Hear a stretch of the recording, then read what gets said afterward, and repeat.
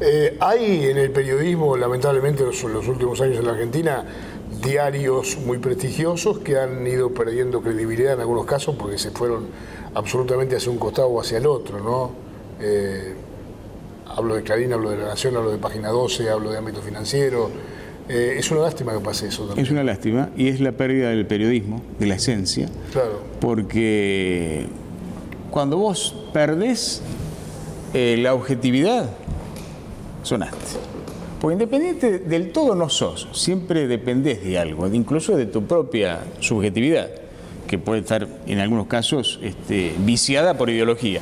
Yo respeto al que es eh, al que lo, domina la ideología, pero en serio, por convicción. No lo comparto, pero lo respeto. Mm. Lo que no respeto es aquel que adopta una ideología para favorecerse negociando con eso. Correcto. Por conveniencia. El mayor eh, capital de un periodista es la credibilidad. Tal cual. Y muchas veces hay, hay, mucha gente que, la, ha perdido públicamente, ¿no? porque se tira para un lado o para otro, quién sabe por qué razones. En muchos casos son razones económicas, ¿no? Y es que hay, hay casos en donde vos un día dice A y el otro día se pasó de canal o de diario y dice B. Claro. ¿Y en el medio qué pasó en la noche? ¿Eh? ¿Qué, ocurrió ahí? No, pero hay otra cuestión del periodismo de hoy que me, incluso me preocupa más todavía, porque que alguien labure o trabaje, perdón la expresión, para otro eh, por una cuestión económica, no lo compartís, pero lo podés entender en este contexto. Ahora, eh, que en un momento de tanta inestabilidad económica, con una coyuntura social muy grave, eh, en los programas periodísticos estén eh, tirando bombas y bombas y, catástrofes, anunciándole a la gente, me parece eso ya, te diría hasta criminal. Sí, es cierto. Porque las personas que están mal, económicamente, socialmente, este, que están mal espiritualmente, ante esta situación, que le estés tirando permanentemente esa onda negativa... La, la predispones peor. La predispones peor. ¿eh? Así que me parece eso... ¿Has hecho periodismo en otros medios que no sean radio? La, verdad que no. Hice alguna cuestión de, en lo que se llama en los, blogs y eso. Sí. Pero, pero no, trabajando para otros medios no. O sea, ¿no has hecho periodismo escrito o televisivo? ni escrito ni televisivo. Claro. Sí me han invitado muchas veces a hacer notas, pero Sí, has escrito un libro. Escribí un libro. Sí. Escribí un libro que se llama Crónicas Humanas, que lo edité en 2001. ¿Has tenido la gentileza de...? Ah, lo tenés. Sí. Bueno, vos te quedas, yo no tengo ninguno. Los he regalado. Sí, era algo que, tiene que ver con mi vida personal. Eh, claro. Una parte. Sí, es y cierto. tenía la necesidad. Te lo comenté en su momento cuando lo leí. Exacto. Te dije, tiene que ver con vos eso, ¿no? Exacto. Vos sos el protagonista un poco de la, el protagonista, de la historia. El protagonista de la historia y tuve la necesidad de contarlo por una cuestión personal. Quizás en algún momento pueda escribir otro nuevo libro, porque ya pasaron mucho tiempo de eso, pasaron 20 años. Eh, pero fue una experiencia muy linda. Lo, editaste por Duncan, me parece. Duncan. Que fue una editorial, es, una editorial muy conocida. es una editorial muy conocida y que utiliza mucha gente para publicar sobre todo su primer, su primer libro. Me gustó mucho hacerlo, sí, tuve mucha satisfacción. Fue una inversión privada tuya, ¿no? Mía, sí. para darte un gusto, para dejar una marca. Y, y si hubiera un segundo libro, sería también aspectos de tu vida o lo enfocaría hacia otra cosa? No, creo que lo enfocaría hacia otra cosa. a, mucho de lo que hemos hablado acá. Claro. El tema de, de, la, situación actual de la humanidad, del tema del, egoísmo que perjudica al conjunto, que todos esos aspectos que hemos charlado en esta nota los incorporaría. ¿Cuántas horas trabajas por día? Y estoy en turno completo, siete, ocho horas. Ocho horas. ¿Y fuera de eso qué haces?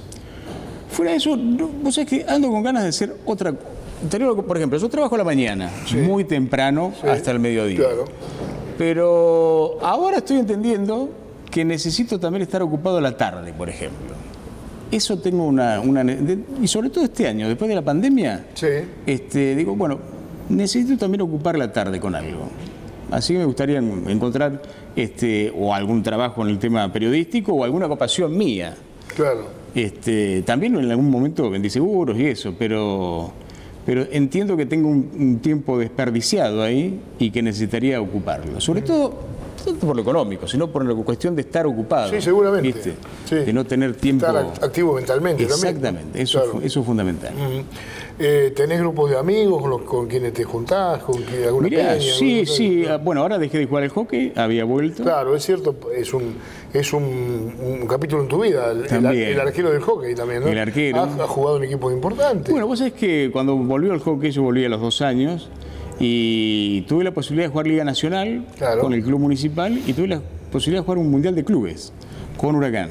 Sí. Y hasta ahora fue el único mundial de clubes que se hizo en, en San Juan y salimos subcampeones en la Copa de Oro con Huracán y jugando contra un equipo de Chile, la final, en el Cantoné, que es el estadio mundialista. Ajá, claro. Así que ahí también me di muchas satisfacciones. Qué bueno. Y ahora ya me retiré porque ya está a cierta edad, ya los golpes duelen mucho.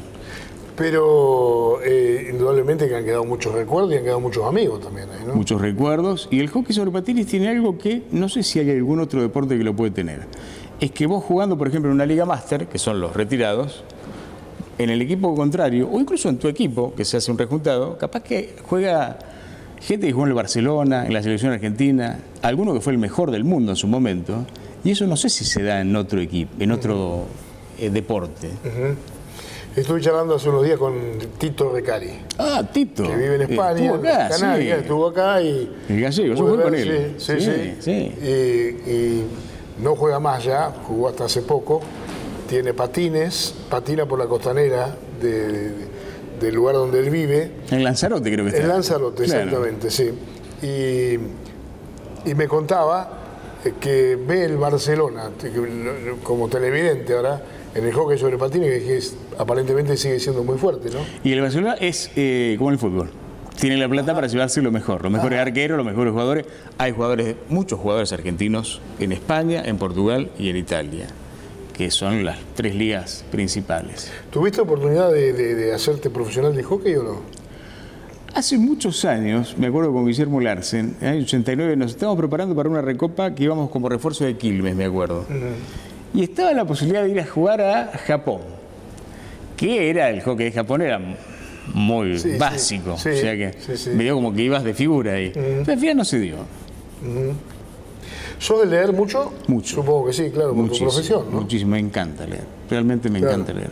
Además es una, una, una idea muy responsable para saber de qué se habla cuando se habla, Exacto, exacto. ¿no? Y abrevás en, en distintas cuestiones. Me gusta mucho la novela policial. Ajá. Sí, también. Sí, sí, sí, sí. Además de la histórica, la histórica me encanta. Hay una, una anécdota de Agatha Christie que dice que las mejores historias policiales le surgieron a ella cuando lavaban los platos. Porque estaba, se ponía, se tensionaba y de ahí salían la- Y las se, historias. Se tensionaba con el plato y... Sí, sí, sí. Cuando lavaba los platos. Mira, vos esa, esa es muy buena. Muy, Sí, sí. aparte que es escritora. ¿no? Claro, por supuesto, ha vendido. Muchísimo. Miles y miles Pero, de- por ejemplo, los libros históricos, la trilogía de Alejandro Magno, eh, de Valerio Manfredi, es espectacular. Y ese tipo de libros me encanta. ¿viste? Sí, sí. Y ahí te das cuenta que, que venimos repitiendo los mismos errores de hace 3.000, Claro, 4.000, 5.000 claro, años. Claro. Con el agravante de que, por ejemplo, antes se se pe- peleaban a espada, ahora se pelean con bomba atómica, que ese es mi gran temor, lamentablemente. a- Sí, sí, muchas veces vos lees que países como los nuestros, este, que están alejados del mundo por razones geográficas y alejados del mundo por razones económicas y financieras, se dedican a comprar aviones. ¿Para qué? Decís vos, ¿no? Que si desde un lugar te mandan un cohete teledirigido y te hacen desaparecer. desaparece. Y aparte hay otros hechos en que vos analizás el Cuando hablo de contexto. aviones, hablo de aviones de guerra, ¿no? De guerra, por supuesto, de, de aviones casa. Vos analizás cuestiones que por ahí pasan desapercibidas y vos entendés que hay en muchos países, obviamente los más ricos, los propios gobiernos, pero también mucha gente, hace refugios para una guerra nuclear. Bueno, el otro día en Nueva York hicieron una prueba de ataque nuclear Sí. y la gente se enloqueció. Pero me parece que ellos lo hacen porque evidentemente saben que en algún momento puede pasar. Eh, y el tema de la guerra nuclear es decir, bueno, obviamente donde, donde cae una bomba atómica no queda nada. Pero la contaminación, esa es como lo que pasa cuando vos vertís algo y cae a la napa de agua, en algún momento te va a llegar. Sí, seguro. Sí. Y por eso te digo que eh, no veo, lamentablemente, las Naciones Unidas no sirven para nada, lo demostraron. Es un sello. Es un sello. Sí, sí, cuando, habla, cuando habla el titular de Naciones Unidas es como si no habla nadie, nadie. aboga por determinado tipo de cosas que luego no se No le da bolilla a nadie y la Organización Mundial de la Salud con la pandemia también probó que para muchos no está. Pero eh, lo que a mí me, llama la atención es que no haya ningún poder, eh, ya sea... ¿Qué tal? ¿Cómo te va? Sí. Político institucional, el tema de las Naciones Unidas, eh, el tema de las religiones también, también que podrían participar en eso para parar la pelota, porque todavía estás a tiempo de hacerlo. Muchas gracias. No, por favor. Muchísimas gracias. Eh, es otro tema, ¿no? El fanatismo religioso también. El fanatismo religioso. Provoca enfrentamientos muy duros, ¿no? Exactamente. Y, pero yo insisto en esto, es decir, el, tema de una tercera guerra mundial, que sería nuclear, obviamente, es un tema bisagra para la humanidad. Porque puede que terminemos ahí. Sí. Entonces, lo que yo no veo, y sobre todo con este conflicto en Ucrania, que la puede generar, como derivador es que haya en las instituciones del mundo, como te decía, políticas, institucionales, religiosas, eh, una necesidad de, bueno, muchachos, hasta acá llegamos. Paremos la pelota. Hay también una carencia de líderes en el mundo, que también es preocupante, ¿no? Antes había grandes líderes mundiales que, hacían un poco de equilibrio, de fuerzas. Eh, ahora se fue Merkel de Alemania y Europa quedó prácticamente huérfana, porque Macron está haciendo lo que puede, pero dentro de lo que le pueden creer a Macron. En Inglaterra la renuncia del primer ministro con un escándalo y además con sus actitudes desprestigia ese país. En España ha pasado lo mismo con el rey Juan Carlos, en fin. Este, es como que se ha ido este, la caída, exacto. La caída de valores ha sido general en la humanidad. En algunos lugares más acentuada con eh, la involución cultural, como en el caso de Argentina. Sí. Pero eh, la impronta de la, de la involución de los valores, de la pérdida de esos valores que alguna vez significaron muchísimo en el avance de naciones, eh, por ejemplo, Europa se está cayendo. Sí, sí, claro. Por eso decía, faltan líderes, falta la Unión Europea, la Unión Europea está prácticamente eh, minimizándose de acuerdo. ¿Sabés lo que me hace acordar la Unión Europea hoy? Mm. El uno a uno. Esta convertibilidad. Ajá. En algún momento iba a explotar. Sí, sí. Y Europa es dependiente, depende energéticamente de Rusia. Claro. Y Rusia está tomando algunas medidas también. Y Rusia está tomando algunas medidas. Yo creo que, primero principal, detesto lo que está haciendo Putin con Ucrania. Seguro. Ver a los chicos tener que irse de su país, ir a otras escuelas, eso es una barbaridad. Lo desapruebo totalmente. Pero me parece que Europa se subió al carrito de Estados Unidos en aplicarle sanciones al tipo que le puede cerrar el grifo. Claro. Y si te cierra el grifo, ¿qué haces? Claro, sí. Por ejemplo, está cerrando el grifo del gas. Claro para Europa. Exactamente. Entonces, yo vuelvo a esto. Debería haber una institución que sea respetada y que interceda para evitar que, que Rusia haga lo que está haciendo en Ucrania y que pueda terminar cerrándole el gas a Europa, haciendo caer al bloque económico y que no haya necesidad de estar eh, haciendo, por ejemplo, eh, que Europa sancione, quedando desprotegida, que Estados Unidos lo mire de, lejos y, fogonee, pero porque después le va a convenir, que China haga lo mismo, esperando que se maten entre ellos y quedo yo solo. Algo tiene que haber en el mundo, tiene que surgir para que diga, bueno, no, ¿hacia dónde vamos? Pensemos en los que vienen de atrás. Por lo pronto no va a ser inmediato. No va a ser inmediato. ¿Y sabes cuál es el problema de que no sea inmediato? Me parece que no nos queda tiempo. Así que debería ser ya. Marce, muchas gracias por habernos no, este, por favor. visitado. Ha sido un gusto escucharte. Eh, te conozco como persona de hace mucho tiempo. Te conozco como periodista también. Te escucho, no siempre, pero te escucho de vez en cuando. Y por eso me dio mucho gusto invitarte y que hayas aceptado. ¿eh? Bueno, te agradezco muchísimo. Eh, fuiste un gran amigo de mi papá. Sí, señor. Y aprovecho para saludar a otro gran amigo que también tengo la suerte de ser mi amigo. Es Raúl Tormes. Raúl Tormes, ¿eh? Así que un abrazo para él y otro para vos. Saludos a María Inés Fourné. Sí, por supuesto, y a tu esposa. Ni más ni menos que tu mamá. Mi mamá.